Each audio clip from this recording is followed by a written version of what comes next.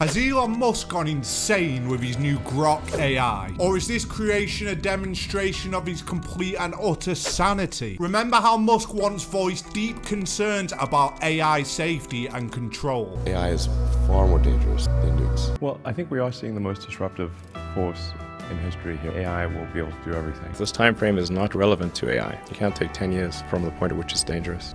It's too late. And now he's transitioned from fear to innovation, launching his own AI system, namely Grok. And unlike ChatGPT, with its conservative safety settings, he's designed Grok so you can actually put it into fun mode and drop the guardrails. So what's behind this shift? from Musk's previous AI is the biggest threat to mankind to him flipping the switch on it and creating his own, but making it less safe. Has he truly gone insane? Does he just not care anymore? Is it about money or power, or is there something deeper at play? In this video, we're going to discuss what happened at the Global Expert AI Safety Summit that caused Elon to change his mind. And we're going to look at how Grok AI stacks up against ChatGPT in the AI battle of the titans. Titans. But first, let's briefly discuss what Grok AI actually is. So why did Musk choose the name Grok? Well, in the tech world, Grok means to understand. So his ambition for Grok isn't just about functionality, it's about intuitiveness, it's about feeling. Classic Elon, always taking it to the next level. So Grok was created in just two short months, in contrast to ChatGPT, which has evolved all the way back since January 2018, essentially taking four years and 10 months longer than it took to get where it is in comparison to Grok. Although Grok is still in beta, it's still largely shrouded in mystery and not yet fully public, but it's already turning heads with the things that it can do. It's going to be handed out to Twitter premium users first, and guess what? I'm a Twitter premium user, and the second I get my hands on it,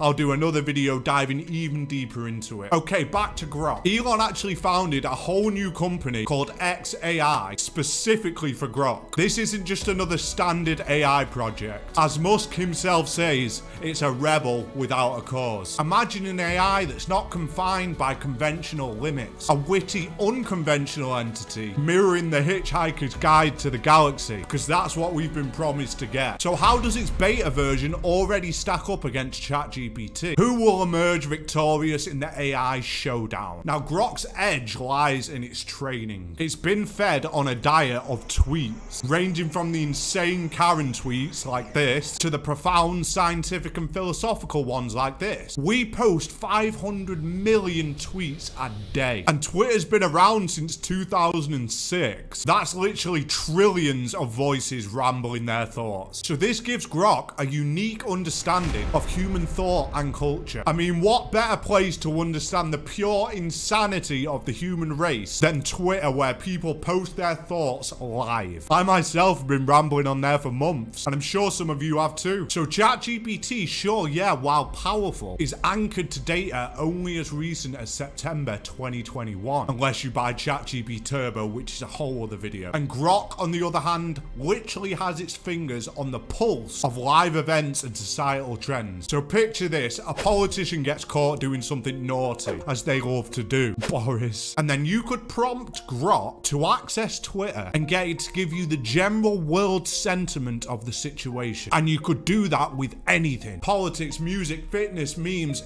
anything. That alone is truly an insane game changer. So which is better then? Why has he promised that it'll dominate ChatGPT? Well, currently, while the product's in beta, the answer to this depends on your needs. Grok offers real-time information and promises to be more engaging and intuitive, even potentially syncing with Neuralink's brain-computer interface which is absolutely insane and I can't even fathom right now. But as I said, it's in beta and it hasn't been tested out properly yet. It isn't as established as ChatGPT, which has a massive data set, but lacks real-time updates and can generate even biased responses. So to me, Grok's lack of guardrails, the ability to access the entirety of Twitter, and the fact that it's only taken them two months to get to this point means it is incredibly likely that it will dominate ChatGPT ChatGPT. What took ChatGPT five years, Grok has done in two months. Imagine where it'll be in even just another six months. Imagine where it'll be in another five years. I'm genuinely excited about it and will share my experiences with you the second that the actual model becomes publicly available. Now, Musk was once the harbinger of AI doom, urging the world to be careful, terrified, shouting from the rooftops for someone to step in and ensure it was safe. He actually once called it the greatest existential threat to mankind. And yet now he's built his own AI, seemingly adding to the problem and speeding it up. So again, what is this about? Is this about money? Is this about power? Or did something change his mind at that AI Global Safety Summit? Well, what happened at the Safety Summit? So first, let's get this straight. That summit wasn't just some random meetup. It was like the Olympics of the AI world. It will go down in history as one of the most important events of all time. It's just as important as the nuclear proliferation treaty discussions, if not more. We're talking about Australia, Canada, Britain, Brazil, China, the entire European Union, the United States of America, you name it, and they were there. This summit that just happened between the 1st and 2nd of November was properly legit. And now here's where it gets interesting. Just two days later, on the 4th of November, Elon Musk dropped the bombshell about Grok AI. Coincidence?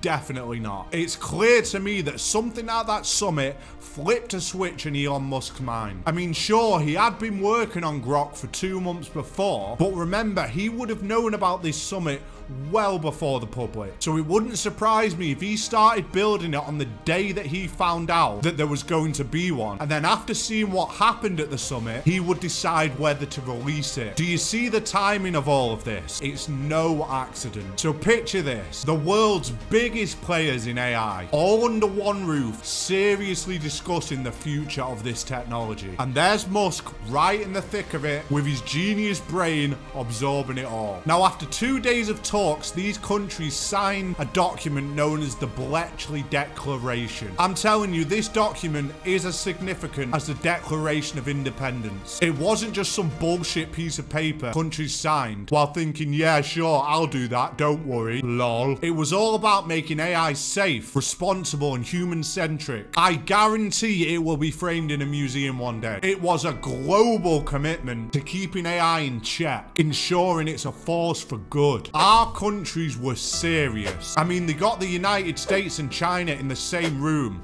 That's hard enough as it is. And I have no doubt that Russia would have been there if it wasn't for this disgusting war. And when it ends, which I pray happens soon, they will likely be invited to the next one. You see, despite all their madness, world leaders don't actually want to destroy the world. They want to run it. If the world ends, who are they going to run? Themselves. And by the way, not all world leaders are like this, but you can bet a lot of them are. So all of this showed Musk that AI could now be kept in check, that people were finally taking it seriously after he'd been talking about it for 10 years. So it seems to me, at least for now, he's content with the safety measures the world has put in place and he can worry less about the existential threat to mankind. He can see the positives for embracing human life, for tackling big issues like health, education, and the myriad of other things that it'll do. Musk, having witnessed this historic moment of unity and purpose, must have realized that Grok AI had to be a part of this new wave of AI. An AI that's not just smart, but also safe, ethical, and above all, beneficial for humanity. That's why he waited. He needed to see the world come together to agree on a path forward for AI before he unveiled Grok. And he was clearly satisfied. It wasn't just about being on the right side of technology, it was about being on the right side of history. And that is how the AI Safety Summit didn't just change the game, it changed Elon Musk's mind. Okay, so it's all good knowing about these AIs, but how are they going to change the game for computer scientists, programmers, developers, and the general skills of the world? I mean, a professor named Dr. Matt Walsh has already predicted the doom of computer science, and I'm a computer science student. Well, I made a video on this exact topic that you should watch next. Thanks for watching. Peace.